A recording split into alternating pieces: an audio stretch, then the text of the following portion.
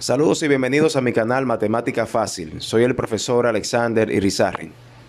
En el video anterior dejamos estos ejercicios para que los realizaran en sus hogares. Espero que a ustedes les haya ido bien en la realización de estos. Pero vamos en este video a completar este ejercicio, tanto ustedes como nosotros. Le invito antes de continuar con el video que le den un clip a este botón para que puedan ver el video anterior.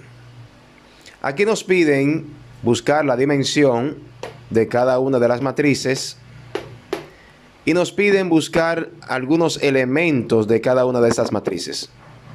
Para poder encontrar la dimensión de una matriz, recuerden que la dimensión es una notación que nos identifica la cantidad de filas y columnas que tiene una matriz. Si podemos notar, la matriz A tiene una fila, dos filas, tres filas. Y contamos las columnas, una columna, dos columnas, tres columnas, cuatro columnas.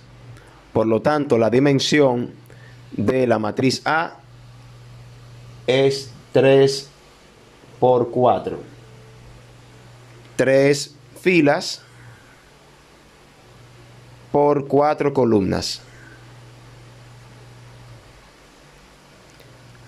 Ahora vamos a buscar un elemento en particular de la matriz A. Es el elemento A sub 2, 3.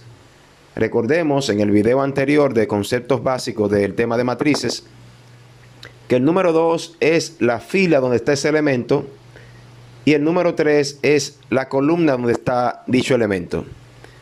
El elemento que está en la fila 2, columna 3, vamos a buscarlo. Fila 2, columna 3.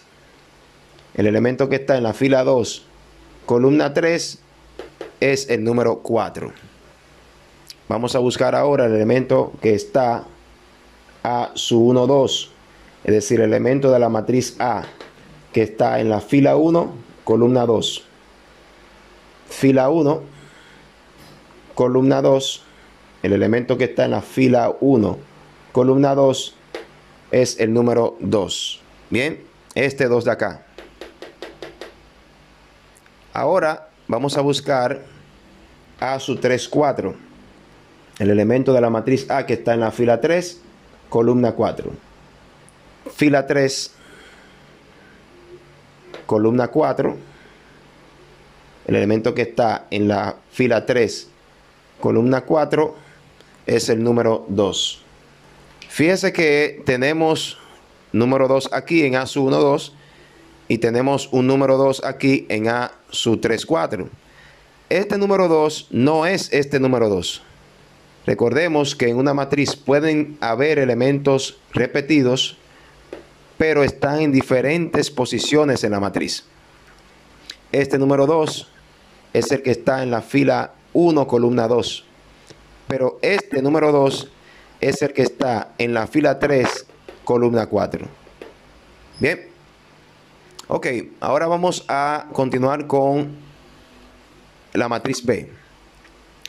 Nos piden la dimensión de la matriz B. La dimensión es la cantidad de filas por la cantidad de columnas. Entonces tenemos una fila, dos filas, tres filas.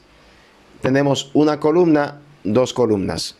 Por lo tanto, la dimensión de la matriz B es 3 por 2. Ahora vamos a buscar el elemento B su 1, 1 el elemento que está en la fila 1, columna 1.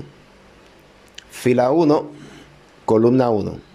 El elemento que está en la fila 1, columna 1 es menos 7. Ahora vamos a buscar el elemento B su 3, 2. El elemento que está en la fila 3, fila 3, columna 2. Fila 3, columna 2. Este es el número 4. Ahora vamos a buscar el elemento B 2, 2. El elemento que está en la fila 2, columna 2.